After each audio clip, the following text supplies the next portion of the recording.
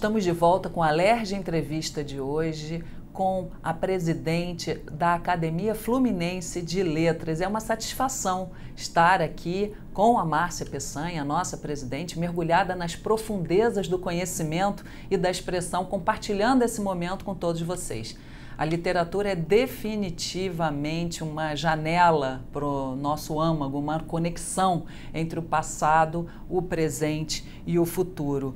Uh, presidente, nós fomos para o nosso intervalo falando justamente da Amanda, essa moça mais jovem, né, a mais jovem imortal. Eu gostaria de saber quais as ações que a senhora sugere para que essa juventude uh, os jovens, mais jovens ainda que a uhum. Amanda, possam, eles possam se interessar mais em ler?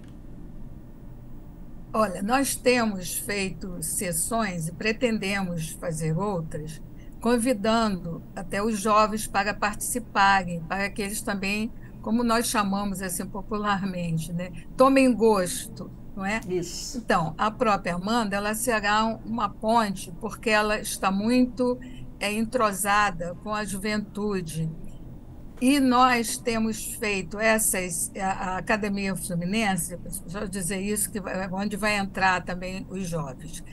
É, nós temos cedido espaço para outras instituições é, fazerem suas cerimônias, porque as outras instituições não têm uma sede. E nós temos essa sede, que, como você sabe né, da história, e quando foi é, feita essa sede, era também para ser o arquivo público e também a biblioteca e a parte de cima do segundo andar é a nossa sede por lei e lutamos por ela. Então, conta onde é precisamente para o nosso espectador, presidente, porque ah. nós sabemos, mas conta para o nosso espectador aonde fica. Então, a nossa academia, ela fica na Praça da República, no centro de Niterói, no número 7. É num espaço que realmente tem várias construções que são importantes. Tem o fórum, tem a, a Câmara, tem a Praça da República e tem a nossa academia. E no segundo andar da academia é onde fica a sede da biblioteca.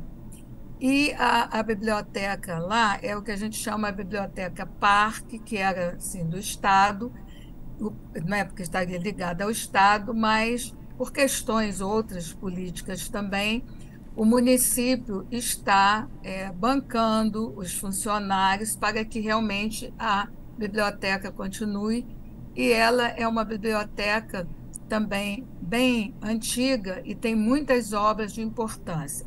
E muitos jovens, chegando aos jovens, que iam às vezes até a biblioteca, mas eles não subiam, não iam até a Academia Fluminense.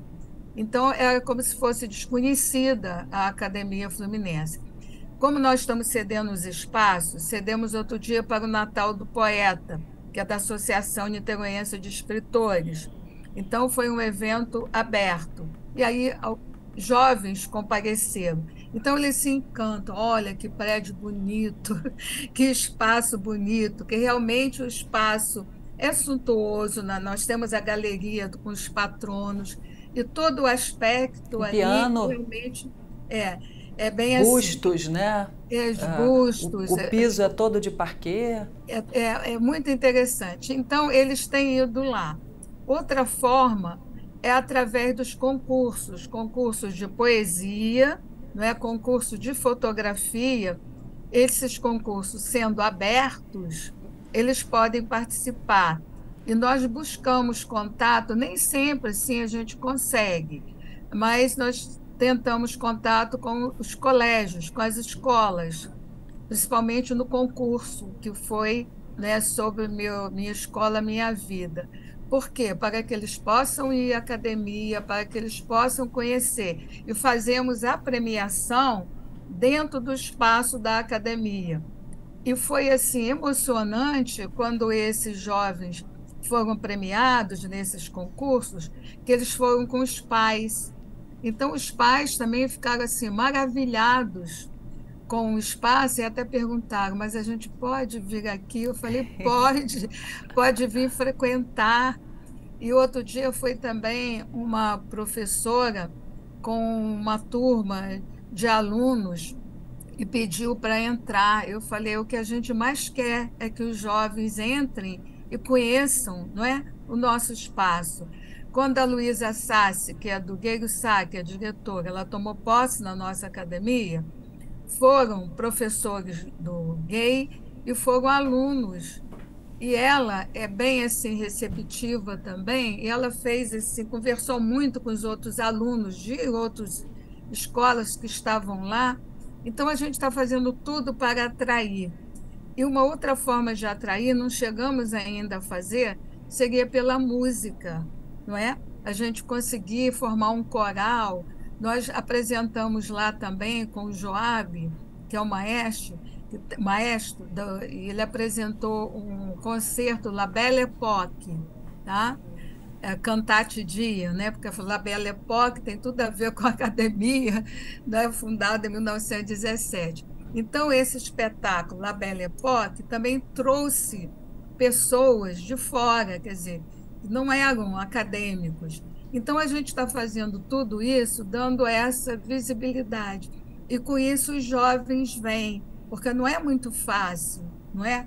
Você tem que ter atrações para que os jovens gostem né, e apreciem. E a gente está pensando em fazer alguma coisa com a música, com a fotografia. O Antônio Machado, ele faz lá na Sociedade Fluminense de Fotografia. Nós fomos lá assistir como parceiro, mas não foi a Academia Fluminense. Tá? Foi tudo dele, projeto dele. Ele fez um projeto de fotografia para um curso para idosos, para jovens, jovens da periferia. Eu estou usando essa palavra, quer dizer, porque foi usada assim: jovens da periferia, dos bairros próximos, que às vezes não têm acesso, o curso era gratuito. E outra uhum. coisa, para autistas, olha que coisa interessante. E ele é da nossa academia, então nós fomos convidados para a exposição participamos da exposição e esse ano estava conversando também com ele para ver a possibilidade de fazer também esses movimentos dos jovens com fotografia, com cursos, também mais ligados à Academia Fluminense, que são formas de você dar uma visibilidade e sem ser algo assim tão ortodoxo, não é porque Sim. são os jovens. Então, um curso de música, um curso até de declamação, porque a gente tem poetas em nossa academia, e um curso assim de fotografia. A gente está pensando muito em fazer isso esse ano, porque o ano que passou nós ficamos preocupados em dar a posse, em acertar tudo, né, que veio posterior à pandemia. E nós sempre nos lembramos também de todo um trabalho que foi feito pelo Dr. Valdenir de Bragança eu estou dando continuidade, estou fazendo todas essas essas novas modalidades, né, que o próprio tempo pede hoje, a gente tem a tecnologia, tem tudo mais, mas a gente não pode esquecer da semente que foi lançada e que foi lançada por ele. Tá? Então a gente dá continuidade e com os jovens vamos continuar assim.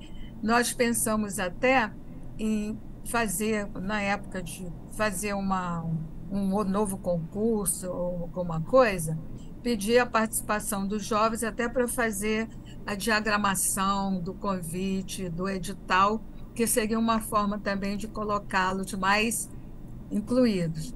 Participativos, né? É, mais Eles... participativos, para não só receber o pacote, mas também fazer parte do pacote e até sugerir títulos de redação para eles, porque às vezes nós damos um título não é tão do agrado. E voltando que ótimas iniciativas, hein, presidente? É, é. Que ótimo. Você está uhum. falando de música, me ocorreu. A academia tem um hino, né? É, eu não, o hino eu não sei bem, nós não tivemos ainda esse contato para ver a letra e para a gente assim dar uma sequência. Isso eu não tive tempo ainda de, de ver, mas não está excluída essa possibilidade, tá?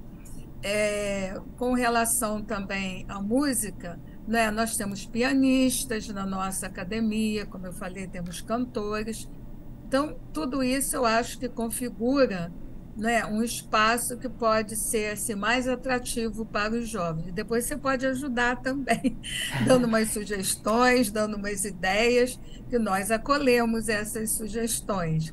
Estou aqui ao inteiro vapor, presidente. Inteiro é só me vapor. convocar que eu vou. É, Queria saber é. se você acha que o mundo está perdendo a tradição nas instituições. Assim, dá para você acha que dá para conjugar o clássico com a vida atual?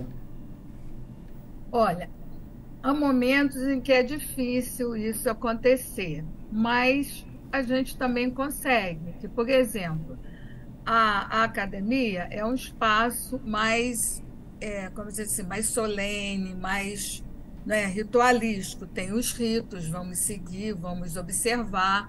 Quando há posse, tudo isso acontece.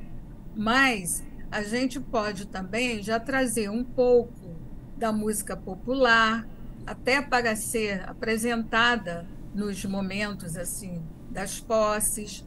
Então eu acho que é possível, não dá assim uma coisa assim de ponta cabeça, mas eu acho que no equilíbrio é possível sim, inclusive quando nós trazemos os jovens, eles têm uma outra roupagem de, de linguagem.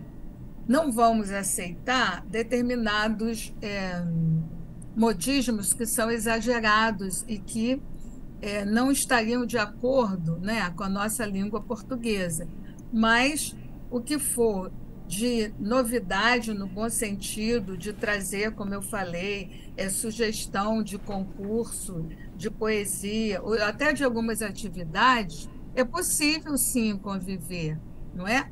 Você vê que a Academia Brasileira já aceitou a atriz de teatro, não é? Foi assim, botando para que essa convivência possa ser estabelecida dentro, evidentemente, de determinados limites, mas é sempre bom a diversidade, não é? Que a diversidade enriquece. Nós não somos donos de um saber único. Nosso saber é compartilhado com tudo que nós é, temos também. E até um, um provérbio Ubuntu que diz: Eu sou porque nós somos, né? E nossa língua, ela é produto aí do, da, dos, africani, dos africanos, dos indígenas, da, dos europeus. Então, nós somos realmente esse caldo cultural, e esse caldo cultural, ele aparece, ele se apresenta também né, nas nossas instituições. Mas, Mas, presidente, no meu sentir, a Academia Fluminense de Letras está bem posicionada no que tange a diversidade, porque a senhora já citou tantas ações aí precedentes que a senhora já tomou, na, tanto na sua, na, uhum. na, sua gestão quanto na do ex-presidente e eterno presidente Valdemir de Bragança, onde há tantos segmentos sociais sendo incluídos que eu acho que nesse quesito a academia está mais que 100%, não é? Ah, é, é, porque nós procuramos justamente fazer tudo isso. Ah, uma outra coisa que até quando eu estava nesse congresso lá em Mato Grosso do Sul, eles perguntaram justamente sobre essa situação dos jovens, perguntaram também da diversidade e da presença feminina, porque há determinadas instituições que não há essa presença feminina. Você sabe que nas próprias academias, a mulher lutou muito para entrar. Na própria Academia Brasileira de Letras, foi só a Raquel de Queiroz que conseguiu muito tempo depois. A esposa do Bevilacqua não tinha conseguido. E a Academia Fluminense já teve uma presidente, né, que foi a Albertina Fortuna Barros, e atualmente eu sou a segunda mulher a presidir a Academia Fluminense. Mas na nossa diretoria, por exemplo, nós temos é, a Eneida, que está como a primeira secretária, a Lúcia Romeu, que também. Eneida, Lúcia. É, a Lúcia Romeu, que você conhece também, grande poeta, que também é a segunda secretária. Aí temos a Maria do Carmo, que é do Rio Bonito, que é do, é do patrimônio do, do, das bibliotecas, não é? E temos, é claro, né, os nossos ilustres também é, membros da diretoria, o vice-presidente, que é o Eduardo Clauser, o tesoureiro, que é o Kleber, é, o Kleber, que é lá de Petrópolis, o segundo tesoureiro é o Hertal Rocha. Não é? Querido então, Hertal. É. E nós temos, assim, muitas mulheres em todas as classes, nas classes de letras, classe, na classe de letra, belas artes, ciências, ciências sociais. Então eu disse lá. A intelectual do ano, né? A Alba, a que acaba de receber. Esse ano foi a Alba. Então nós estamos assim coroados de mulheres. Então a presença feminina na Academia Fluminense de Letras, ela é bem situada. Aí foi que eu disse Mato Grosso do Sul. Não, nós não temos esse problema, nem precisamos fazer cotas para a presença feminina, porque nós já temos bastante e, são, e lá todos são tratados da mesma forma, homens e mulheres. A gente não tem, não faz diferença lá. Então é muito bom, não é, conviver assim nesse espaço. Presidente, e a produção literária? Quer dizer, vocês têm aboletras. Você teria algum exemplar dos Tem. jornais e da ah, nos mostrar para o nosso nós fazemos mensalmente uhum. é um uhum. boletim então esse boletim ele traz não é, as principais é, notícias é, mensais né que acontecem a gente faz assim todo é, ilustrado e as pessoas eles já aguardam assim com ansiedade quando vai sair o Boletras, porque é nesse último até vai ter sua foto, não é? Porque você esteve lá presente no outro dia e a gente tenta sempre colocar fotos assim dos grupos. Colocamos também as fotos, né, individuais ou em dupla, mas quando a gente coloca assim, né, a gente como é que se diz assim, projeta um grupo maior. Então, mostra um pouquinho ler... mais, presidente, para nós desfrutarmos um pouquinho mais. Dá uma folheada, mostra outras tá, páginas. Tá, vou mostrar. Aí eu vou mostrar também a revista, que a revista é bem mais assim, tem mais é, conteúdo, justamente por ser a revista, porque o Boletras a gente faz com 10 laudas, é, mais ou menos, tá? porque existe toda essa é, preocupação em atender, por exemplo, lançamentos de livros, é, convite de acadêmicos que vão fazer palestras, é, que participam de congressos, de feiras. Nós participamos da Feira Literária de Niterói, a FLIM, fizemos parte, inclusive, de uma mesa redonda, junto com dois membros da Academia Brasileira, a Rosis, Rosina e a Rosisca e o Sequim, que fizeram parte conosco numa mesa redonda. Então, todas essas notícias a gente vai colocando. Agora, a revista. A revista, ela sempre tem na capa fotos assim que são representativas de Niterói. Aqui é do Solar do Jambeiro. Isso. É. E essa foto é resultante de um prêmio de fotografia de um concurso. Tá? Nós aproveitamos as fotos dos concursos, tanto dos adultos quanto dos jovens, e ela ficou com 131 páginas. Vou folhear mais para você ver. Aí aqui tem essa foto que foi lá do Congresso em Mato Grosso do Sul. A academia de lá é um espetáculo também, foi um, uma solenidade muito importante. E nós Belíssima, pedimos... só perde para a Academia Fluminense, né? Ah. Belíssima. É, e, e, a gente faz assim, tá vendo? Sempre com ilustrações, os textos com ilustrações, e a, a revista, ela agora tem as sessões. Então, tem uma sessão de memória, em que reverenciamos os patronos, tem uma sessão que é o Tempo da Palavra, então entram né, as criações mais livres.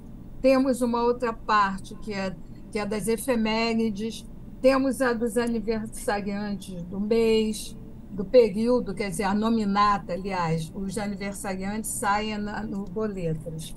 E aí a gente é, faz, aí tem um outro, é, uma outra sessão que nós agora criamos, Cultura e História da terra fluminense. Por quê? Porque aí quem é de Campos pode fazer um, um texto, um artigo sobre algo importante em Campos. Quem é de Petrópolis, quem é de Teresópolis. E em Campos foi muito assim evidente, com tristeza, o fechamento da livraria O Livro Verde. Eu sou campista. então, aqui, uma, uma campista, a Sara Riff, aí faz um texto que ela faz referências também então, nós temos todas essas sessões, tá? E aí, até esse Joaquim Eloy, que é de Petrópolis, ele fez esse texto, 130 anos, da Escola de Música Santa Cecília, de Petrópolis, já nesse sentido, né, da cultura da terra fluminense. Então, essa a revista é motivo de orgulho para nós, tá? Aí estamos também nessa edição, isso aí também é dessa gestão agora que a gente está fazendo, colocando os discursos dos que tomam posse, publicando aqui. Porque às vezes eles fazem. Que é uma outros... excelente iniciativa, viu? É. Queria dizer, porque são é. discursos irreparáveis. Uhum. Aí, aos poucos, a gente está colocando os discursos em cada na revista, a gente coloca dois ou três para não ficar também muito pesado. E colocamos também assim eventos, né, dos que os acadêmicos participam, né, ligados à cultura, ao almoço de confraternização. Então dá um trabalho, mas vale a pena aquilo que eu disse para vocês, né? Aí, por exemplo, aqui, né, o irmão da Lúcia Romeu tomou posse. Aí a uhum. saudação, o discurso dela, né? E depois vem o discurso do irmão. E aí a gente pede permissão, não é? Você sabe, aos órgãos, quando você quer colocar fotos que não são nossas, próprias, tudo uhum. você tem que pedir autorização. Então dá muito trabalho, mas a revista, sabe, Cláudia, valeu a pena, está valendo a pena fazer, porque já há um, pensamento de uma francesa, Helene Siu, em que ela diz que o que você fala é importante, mas o vento pode levar. Mas o que você escreve, você marca um contrato com o tempo, aquilo fica. E é esse o nosso interesse de deixar o registro né, de tudo que acontece na Academia Fluminense de Letras para que realmente as gerações futuras possam conhecer a história e conhecer também de uma forma ilustrada, com gravuras, que fica mais atraente quando isso é feito assim.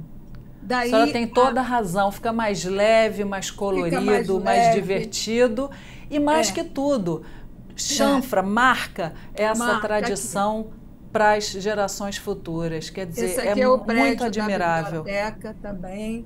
Uhum. Então é isso, nós temos aí toda essa produção, né? Toda, toda essa, essa, marca produção. que é, é, essa gestão feminina. É uh, tão cuidadosa, tão carinhosa, tão amorosa. Presidente, nós estamos nos encaminhando, infelizmente, para o final. Eu ainda gostaria de falar sobre a sua produção pessoal, os, os livros que escreveu, os concursos que participou, a presidente, mas acho que nós vamos ter que deixar para um próximo programa. Queria Falei te, demais. Li, li, não, não, falou até. Não, olha, isso daqui nós poderíamos fazer várias edições, porque a riqueza é tamanha. Eu gostaria, inclusive, de homenagear cada um dos 95 imortais, confrades e confreiras. Não haverá tempo, a senhora citou alguns, mas fica o nosso forte abraço para cada um deles, agradecendo a sua presença, sempre o nosso eterno presidente Valdenir. E aqui fica um tempo disponível para a senhora, para os seus agradecimentos, patrocinadores, família, imortais e toda a população que nos assiste, os nossos caros e queridos espectadores. Bom, agradecer, né, como eu já disse no início, essa oportunidade de poder compartilhar tudo o que acontece na Academia Fluminense de Letras e também nas outras instituições e dizer que a, a arte é, ela é uma forma de você viver no contexto atual, porque a vida seria muito monótona se não existisse a arte.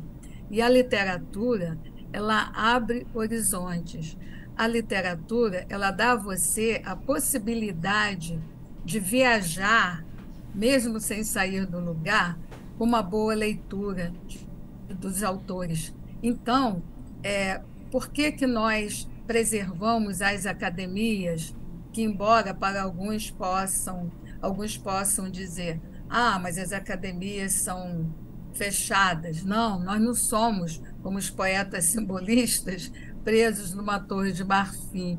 Nós queremos justamente levar, compartilhar, é, aprender, porque nós aprendemos com a população e a sociedade, estando unida a nós, só contribui para o enriquecimento da nossa cidade, da nossa pátria.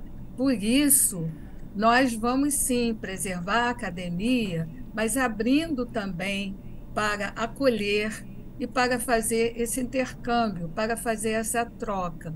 Então, meus agradecimentos mais uma vez a você, Cláudia, à TV Alerge, aos outros que estão aí participando da equipe e a todos os acadêmicos que fazem parte da nossa academia, não pude citar todos, mas o agradecimento por eles fazerem parte dessa instituição e contando com o apoio deles para que a gente possa continuar, mais uma vez citando aí o slogan da nossa academia, Perasta para o alto, em busca de um futuro promissor, salvando nossa língua e fazendo dela uma bandeira para a preservação da cultura e da educação, porque a cultura e a educação são os pilares da nossa sociedade.